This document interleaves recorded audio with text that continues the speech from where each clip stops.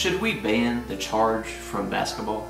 It sounds like a crazy question, but I'll tell you why I'm asking. April 16th, 2023 in Milwaukee. Giannis drives as Kevin Love slips under him after Giannis had taken off, causing him to fall awkwardly on his back, bruising him out of games 1 and 2 in the first round of the playoffs. In an eventual gentleman's sweep led by Jimmy Butler.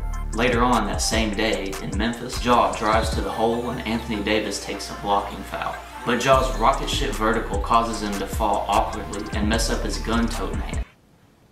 Both Miami and LA advanced in these series, but was it because of those injuries resulting from players trying to draw the charge?